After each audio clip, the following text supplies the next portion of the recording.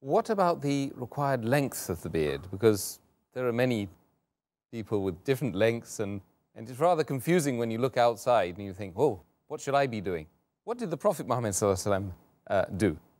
As far as the length of the beard is concerned, the scholars are divided, they have different opinions. And as for what is the length of the beard, there are two opinions. One group of scholars say that because the hadith of Sahih Bukhari, volume number 7, book of dress, hadith number 5892 says, the Prophet said, do the opposite of what the pagans do. Keep the beard and trim your mustaches. So because the commandment is keep the beard, that means they say that it should be kept. That's it. And the second hadith of Sahih Bukhari, volume number 7, book of dress, hadith number 5893 says that cut your mustaches short and grow the beard. So the first group of scholars say grow the beard means keep on growing. You should not touch it. Keep the beard means let it be. Therefore, you should not at all neither trim the beard, nothing at all. You should let it grow as much as possible. This is their view. But if you read, there is not a single Sahih hadith which speaks about the length of the beard of the Prophet. Not a single Sahih hadith. There's not a single Sahih hadith. But according to Sheikh Utaimi, he says that we understand when the hadith says that keep the beard or grow the beard, it means you should leave it, you should not touch it, and let the length be as much as possible. And if someone shaves it as haram, and someone trims it to the size of a fist, that is the other view, then it is makruh. So this one group of scholars said let it grow as much as possible. The other group of scholars, what they say, that the length of the beard should be one fist. As I mentioned earlier, there is no Sahih hadith which speaks about the length of the beard of the Prophet. There's a hadith which is a Zaif hadith or a Maudu hadith. We say that the beard of the Prophet, it touched the chest. But that's a Zaif or a Maudu hadith according to Shaykh Nasruddin al-Albani. There's a hadith mentioned in Sahih Muslim, volume number 4, hadith number 5789, where Jabir bin Samura, he says, may Allah be pleased with him, that the Prophet had a thick beard. So there are many Sahih hadith which say the Prophet had a thick beard, but doesn't mention the length of the beard. But this group of scholars, they say that since the length of the beard is not mentioned, what we have to do is we have to look at how the Sahabas kept their beard. The length is not mentioned. So we have to look at the Sahabas because the Prophet said, if you don't find in my example, then look at the people around me in this generation, at the companions, Sahabas. And when we look at the Sahabas, we find several authentic hadith, more than 10 Sahih hadith, which say that the Sahaba, they kept their beard at the length of one fist. And whatever was below the one fist, they trimmed the beard.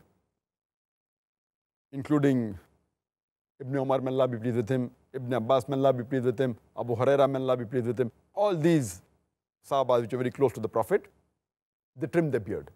Even those Sahaba who narrated the same hadith, Ibn Umar, may Allah be pleased with him, hadith of Sahih Bukhari, volume number 7, book of dress, hadith number 5892. Ibn Umar, may Allah be pleased with him, who narrated the hadith, that the Prophet said that do opposite of what the pagans do. Keep the beard and trim your mustaches. Immediately after that, the hadith continues and says that whenever Ibn Umar, may Allah be pleased with him, used to go for Umrah and Hajj.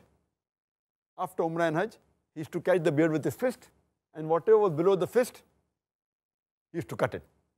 So imagine those Sahabas who narrated the hadith. And all these Sahabas, Ibn Umar, Ibn Abbas, Abu Hurairah, may Allah be pleased with them, all, they were staunch followers of the Sunnah of the Prophet. And they narrated the hadith.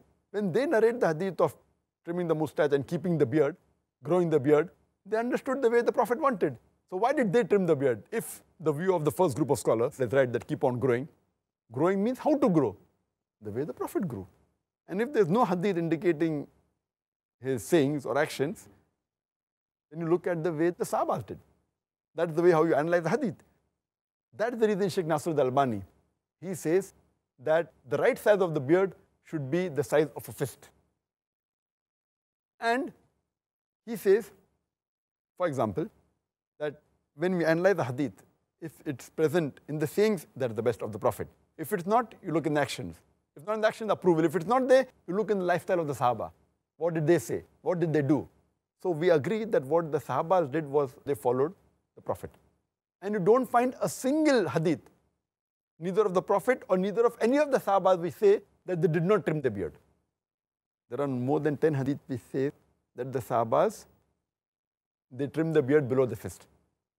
If there was even a single hadith which says that this Sahaba did not trim the beard at all, then it can be possible that both are right. Because there's not a single hadith on the other side saying that the Sahaba never trimmed the beard, but there are no less than 10 Sahih hadith which say that the Sahabas below the fist, they trim the beard. According to Sheikh Nasr al-Albani, it is fard to trim the beard below the fist. It is fard. And anyone who keeps a beard more than the fist length, it is makruh according to him. Makruh, detestable. So this is a strong fatwa in Bashir Nasr al-Albani. He's very staunch. And I personally agree with his view because there is evidence in the lifestyle of the Sahaba. And he further says in his book, and he writes that why it should be the length of one fist. He said, besides the Sahabas, many examples we find who kept one fist and cut below one fist the beard.